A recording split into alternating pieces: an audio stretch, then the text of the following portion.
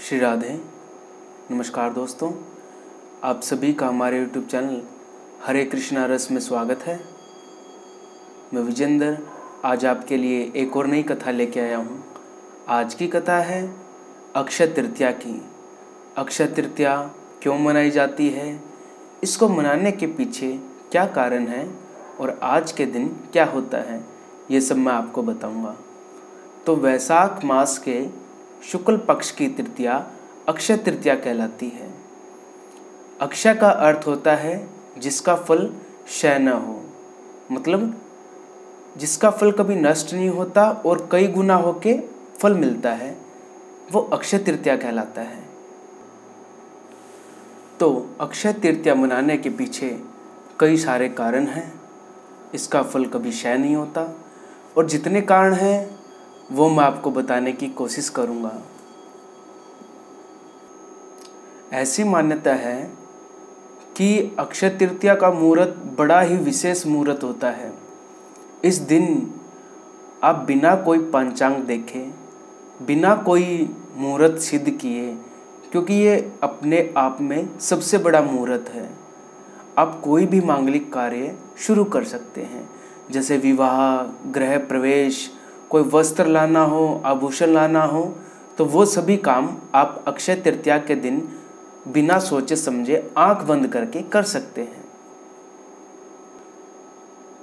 पुराणों में यहाँ तक लिखा है कि इस दिन किया गया पितरों को तर्पण, पिंडदान और किसी भी तरह का दान अक्षय फल प्रदान करता है।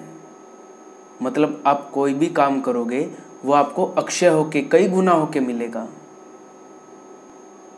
अक्षय तृतीया के दिन अपने से बड़े गुरुजनों का माता पिता का, अपने से बड़े लोगों का आशीर्वाद प्राप्त करना चाहिए। और इस दिन भगवान विष्णु और माता लक्ष्मी दोनों की पूजा करने का प्रावधान है। आपको इन दोनों की पूजा करनी चाहिए। अक्षय तृतीया के ही दिन भगवान विष्णु के अवतार नरनारायण हग्रीव और छठे अवतार भगवान श्री परशुराम जी का जन्म भी अक्षय तृतीया के दिन ही माना गया है। आज ही के दिन श्री धाम वृंदावन में श्री बांके बिहारी जी का हम दर्शन करते हैं, लेकिन इनके चरणों का दर्शन साल में केवल एक बार किया जाता है। और वो दिन है अक्षय तृतीया। तो श्री बांके बिहारी जी के चरणों का दर्शन। केवल और केवल अक्षय तृतीया के दिन ही होता है। ब्रह्मा जी के पुत्र अक्षय कुमार का आज ही के दिन जन्म माना गया है। आज ही के दिन से श्री बद्रीनाथ धाम में कपाट खुलते हैं और लक्ष्मी नारायण जी के दर्शन अक्षय तृतीया से ही प्रारंभ होते हैं। कहते हैं कि आज ही के दिन महाभारत का युद्ध समाप्त हुआ था और द्वापर युग का समापन आज ही के दिन हुआ था। आज के दिन कोई भी वस्तु खरीदी हुई, कोई भी वस्तु दान की हुई, उसका फल अक्षय होता है, अनंत गुना होता है। तो आज के दिन आप कोशिश करिएगा कि कुछ ना कुछ ज़रूर खरीदें या फिर कुछ ना कुछ सामर्थ्य के अनुसार ज़रूर दान दें।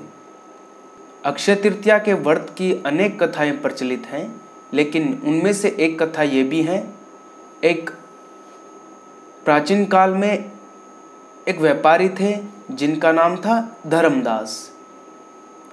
उनकी सदाचार देव और ब्राह्मणों के प्रति काफ़ी श्रद्धा थी। इस व्रत को महत इस व्रत के महात्म्य को सुनने के बाद उसने इस पर्व के आने पर माँ गंगा में स्नान किया और विधि पूर्वक देवी देवताओं की पूजा की। पूजा करने के बाद व्रत के दिन स्वर्ण, वस्त्र और अनेक दिव्य वस्तुएँ ब्राह्मणों को दान में दी। वो आदमी वृद्ध था, अनेक रोगों से ग्रस्त था। उसके बावजूद उसने उपवास करके धर्म, कर्म और दान पुण्य किया। अब देखिए, यही वैश्य, धर्मदास दूसरे जन्म में कुशावती का राजा बना। कहते हैं, अक्षय तृतीया के दिन किए गए दान और पूजन के कारण ये बड़ा ही धनी प्रतापी राजा बना। इतना धनी और प्रतापी राजा कि त्रिदेव भी उसके दरबार में आकर अक्षय तृतीया के दिन ब्राह्मण का वेश धारण करके उसके महायज्ञ में शामिल होते थे। अपनी श्रद्धा और भक्ति का उसे कभी घमंड नहीं हुआ। और महान वैभवशाली होने के बाद भी वो अपने धर्म मार्ग से कभी विचलित नहीं हुआ। माना जाता है कि आगे चलकर राजा चंद्रगुप्त के रूप में ये पैदा हुआ। तो ये थी अक्षय तृतीया के व्रत की कथा। भविष्य पुराण में ऐसा लिखा है कि वैशाख शुक्ल पक्ष की तृतीया के दिन माँ रेणुका के गर्भ से भगवान विष्णु श्री परशुराम जी के रूप में प्रकट हुए हैं। आज के दिन परशुराम जयंती बड़े ही धूमधाम से मनाई जाती है। श्री परशुराम जी को पूजा अर्चना करके अर्घ्य देने का आज विशेष फल बताया गया है। अक्षय तृतीया के दिन जैन समाज में भी बड़ी धूमधाम से इस पर्व को मनाया जाता है, क्योंकि जैन समाज के प्रथम तीर्थंकर श्री ऋषभदेव जी।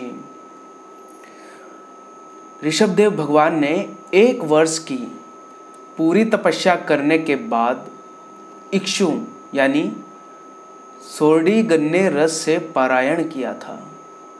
ये श्री ऋषभदेव जी अहिंसा और सत्य के प्रचारक थे। सत्य और अहिंसा का प्रचार करते करते आदिनाथ प्रभु हस्तिनापुर गजपुर पधारे, जहाँ इनके पौत्र सोमयस का शासन था।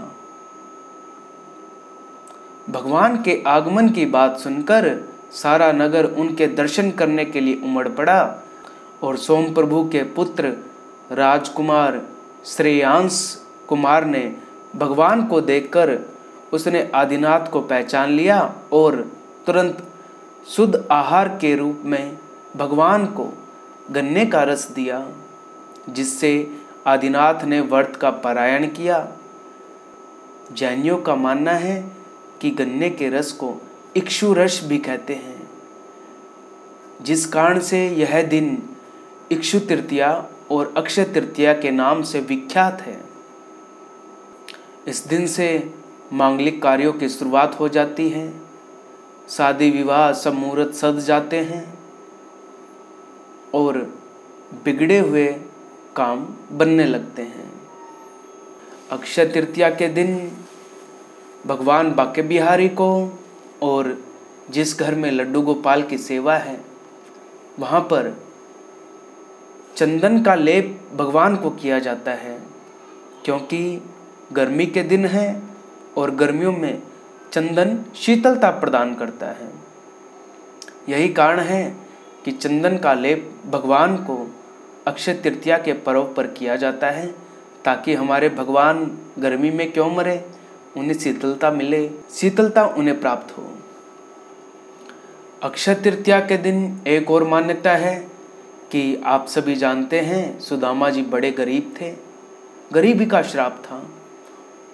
और चार मुट्ठी चावल लेके भगवान के पास गए हैं और भगवान ने केवल चार मुट्ठी चावल खाकर सुदामा को आज ही के दिन त्रिलोक का राज्य सौंप दिया कि, सुदामा, तेरे चार मुट्ठी चावल की कीमत देख मैं कैसे चुकाता हूँ? अनंत दिया है।